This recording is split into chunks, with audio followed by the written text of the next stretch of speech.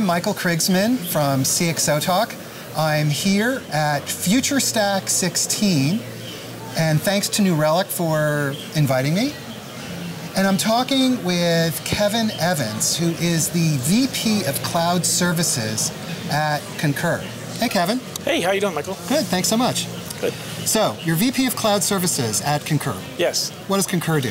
So Concur is the world's leading travel and um, spend management um, provider for enterprise customers. We have about 40,000 customers and um, about 35 million users who use the service on a regular basis to, to help them uh, book and manage travel as well as uh, create and submit and manage uh, expenses and spend management. So you are building cloud at scale.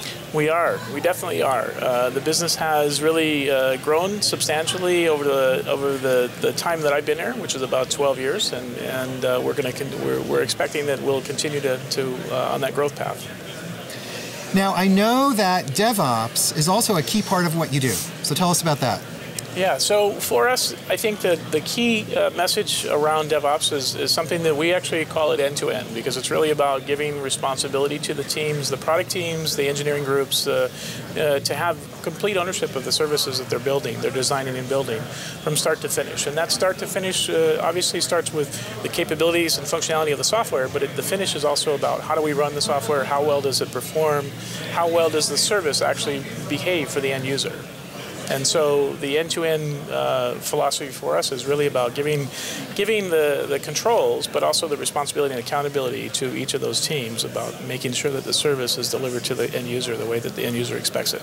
So the, so the end user experience then is the reference point that your engineering teams use? It is. It's extremely important for us to consider the end user and the experience that they have with using the service in everything that they're doing. How is this different from traditional approaches to engineering? Yeah, so I think if you were to, to look back uh, how we uh, used to develop software at Concur, it was really about focusing on the product and the functionality and, and um, and the requirements were heavily weighted towards how how is the functionality going to work for the end user. And I think what you would look at today and the, the, the major difference with how we how we build and, and deliver software is it's really more uh, just as much about the service as it is about the functionality. And so how well is it going to perform? How resilient is it? How how is the availability of the service going to come across uh, for the end user? What kind of data are you collecting, and how is the data, could we say, the, the glue between the end users and the engineering organization? So we collect a tremendous amount of data. Sometimes we refer to ourselves as a data collection company that just happens to do travel and expense management because the amount of data that we're collecting about how the service is used, how uh, the user interaction is, is happening, what the experience is like for the end user.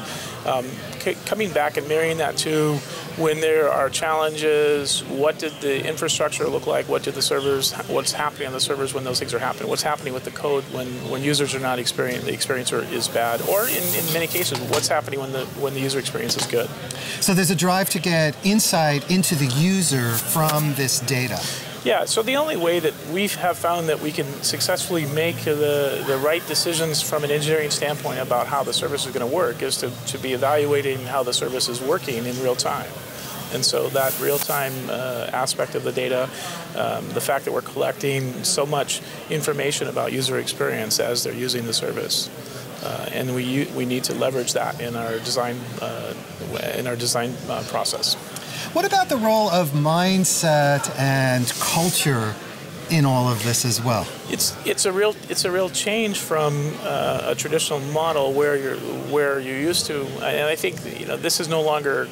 I think it was the previous the previous process that, that a lot of companies went through in developing software. You focus on the functionality. I think it's now it's now going back focusing on the service itself, and that goes to not just the the development engineers who are building it, but from a product standpoint, how are we de- how are we delivering it? How do we upgrade it? How do we manage it? And that's user experience that goes all the way back to the the very first uh, to, um, part of the very front part of the the process. What are the challenges associated with with making this kind of change? Yeah, so there's a very complex uh, set of systems that, that run the run the service, and a very uh, complex set of, of users that that are uh, from uh, different variants as far as the, where they're at in the world, what types of systems that they're using, whether they're using a tablet, whether they're using a browser. There's a lot of complex data that has to come together, and we need to we need to coalesce all that information and make it meaningful to a broad set of users that have different uh, different requirements as well as different experience about working with data. So it's, it's really a challenge for us to make sure that we're presenting useful information that can be used to make decisions uh, as opposed to just presenting data.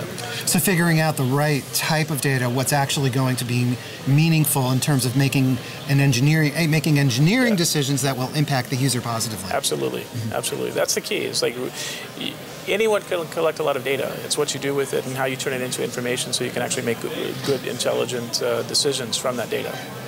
So then, what advice do you have for others who might be doing this same kind of thing?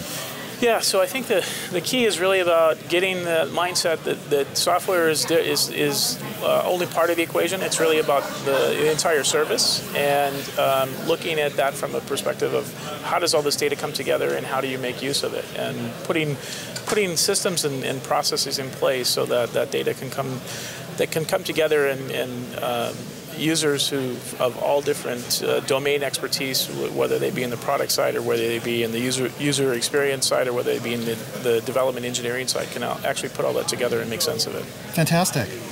We've been talking with Kevin Evans, who is the VP of Cloud Services for Concur. Kevin, thanks a lot. Thank you.